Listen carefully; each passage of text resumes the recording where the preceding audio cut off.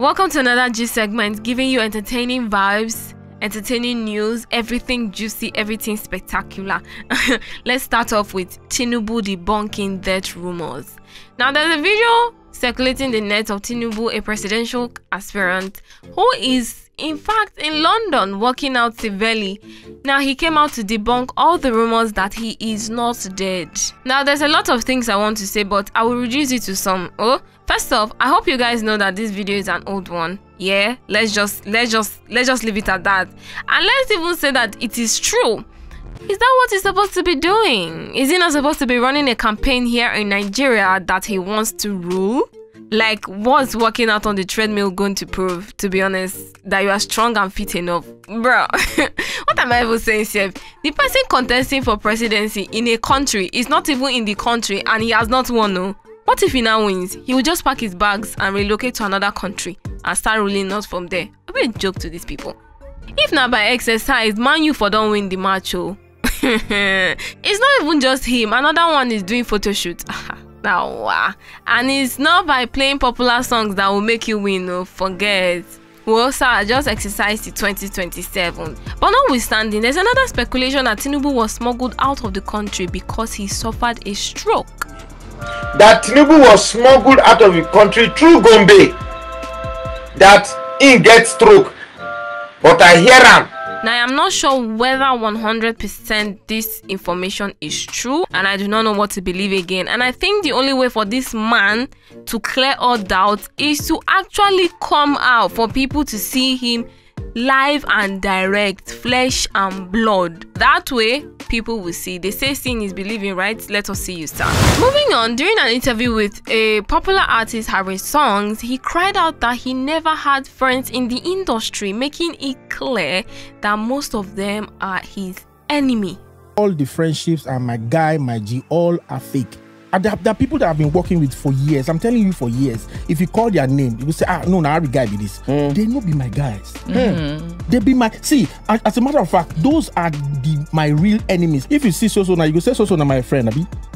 Wow. Soso is not my friend. He's my enemy. Wants to kill. He sent people to come and kill me in Port Harcourt. No joke. Cultism when I was in secondary school, but now, now in in the industry, the cult they, they take am dey brag yes mm-hmm. eh, i belong to this cult i belong mm-hmm. to that mm-hmm. cult people mm-hmm. wey you go think say get respect wey humble like Skiibii Skiibii stayed in my house i fed him gave him money clothes they give am clothes for my house Skiibii that was staying in the house that i rented that they they fought me why you go rent house Skiibii wey dey stay for my house while they feed everything Skiibii insulted me and my wife where i carry am go go my wedding for worry Yo, this is a very serious accusation to just throw out in the open. No, like how sure is Harry that he sent people to kill you, fam? This allegation is too strong, and if there's no proof, um, I don't be. Oh, I thought him and Soso were very tight body safe, like, bro. And come to think of it, you knew that people are not your friends in the industry, but you kept them very close. Are you not supposed to keep them at arm's length? Make it make sense. I don't get you knew and you're complaining that oh they're not my friends. I'm not even trying to be biased here because this is a serious matter. And until or if soso comes out to reply there are still accusations from harry. And he's here saying that there's no real friend there's no real friend. Is he also a real friend to people that he considers as friends? Uh well that's your personal matter oh. and if this blows out you guys be certain that this industry will take a new turn. Still inside the industry, according to a post made by Susan Eyo Honesty, the owner of Glam and Essence magazine and former editor-in-chief of City People magazine, she posted in the late hours of yesterday that Mercy Aigbe's sister accused her mother of using her glory for mercy to become rich and popular. Now, this is coming from someone that is notable in the industry. So, my best guess is this is not fake news because of course she would know the tea of what is happening inside the family right? And just imagine oh after she made this statement online her mother's house in anthony village lagos mainland caught fire. Wait did exposing her mother cause the fire to catch the mama house? Like is this really true? Because this cannot be a coincidence you guys. Maybe auntie has been praying praying praying and the fire of god just catch the house. Like ah to burn the juju that is there and it is an attempt to take back her glory that her mother stole This is just an assumption, no. Hmm, what a lie. Then again, another breaking happened when the NDLEA busted another place with over 8.8 billion worth of tramadol pills. But let's be frank with ourselves now. there were no guns blazing in the place, so like, what's going on? You just strolling and say, wow, this is the place. Who gave you the intel? And look at something. I'm seeing two different houses. Where exactly did they bust? Are they going to burn out this one like the way they did with the cocaine matter? Now, wow. No men on uniform, no gun. You just walk there like you live there. Please help me understand now.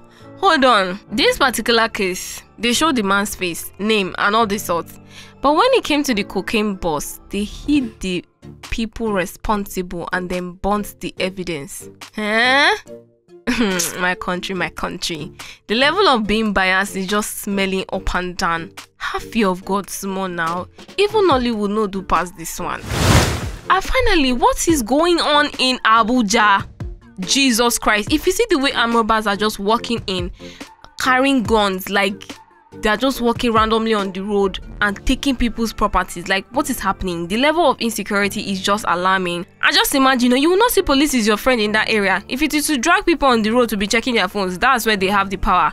Also, I have the opinion that the forces are actually giving these guys these weapons because it's not just adding up at all. How did they get access to the guns? Hmm? How are they so confident like that? Like they own the place. Fam, they didn't even cover their faces. They only wore a face cap. Now, wow. It's the way they just throw Like it's just off-putting. Hmm. God protect us all, oh. Well, that's all I have for you on this G segment. Until next time, do not forget to like, share, and subscribe. Thank you.